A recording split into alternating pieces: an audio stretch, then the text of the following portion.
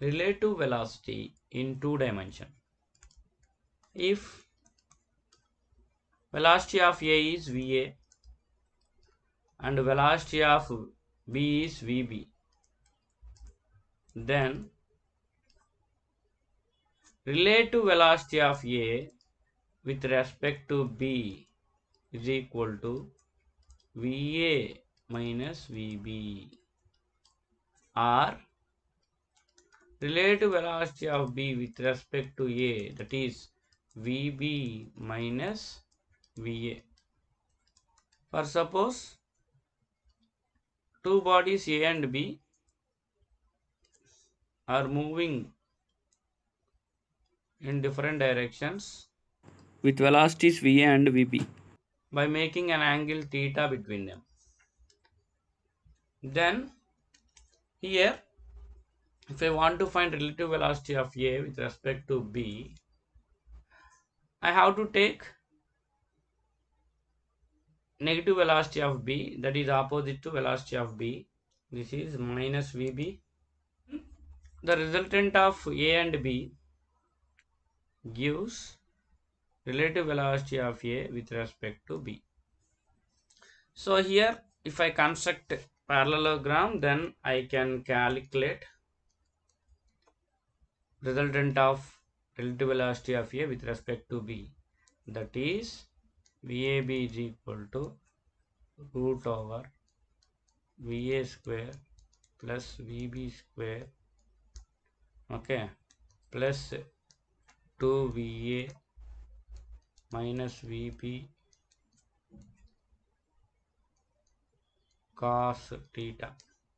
Then I will get a resultant of relative velocity of A with respect to B uh, root over VA square plus VB square minus 2 VA VB cos theta. Similarly, if I want to find relative velocity of B with respect to A, then again I will take diagram here both A and B are moving in different directions with velocities v and Vb by making an angle theta between them. Then here I will take negative velocity of A opposite to velocity of A that is minus Va. Then resultant of velocity of B and velocity of A gives relative velocity of B with respect to A. So here also if I construct parallelogram then I will get resultant of velocity of B with respect to A is equal to root over VB square plus VA square plus 2 into VB minus VA cos theta. Then resultant of relative velocity of B with respect to A is equal to root over VB square plus VA square minus 2 VB VA cos theta. Okay. Now special cases. First one if A and B are moving in same direction that is theta is equal to how much same direction means? 0 degree. Then resultant of A with respect to B is equal to root over VA square plus VB square minus 2VA VB cos 0 degree.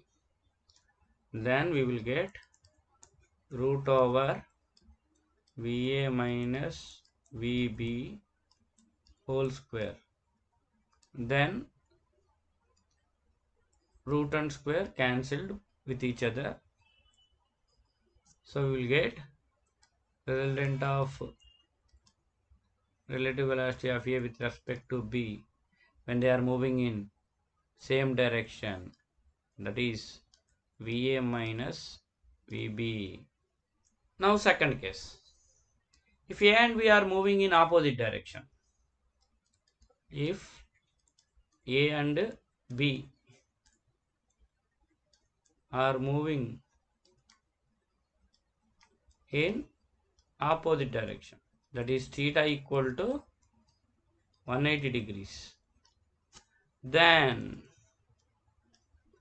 relative velocity of A with respect to B is equal to root over VA square plus VB square minus 2 VA VB cos 180 degrees. Cos 180 means minus 1. So we will get root over VA plus VB whole square. Then square root 2 cancelled.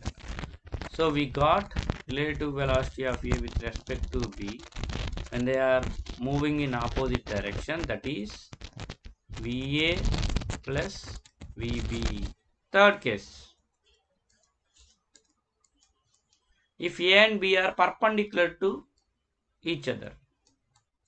That means theta equal to 90 degrees.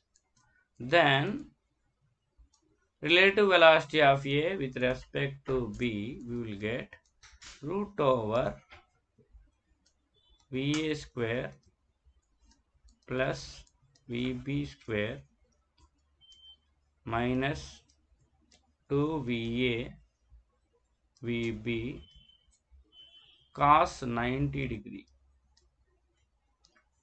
Cos 90 means 0. Then we will get relative velocity of A with respect to B is equal to root over VA square plus VB square. So we got relative velocity of A with respect to B when they are perpendicular to each other. That is root over VA square plus VB square. Okay.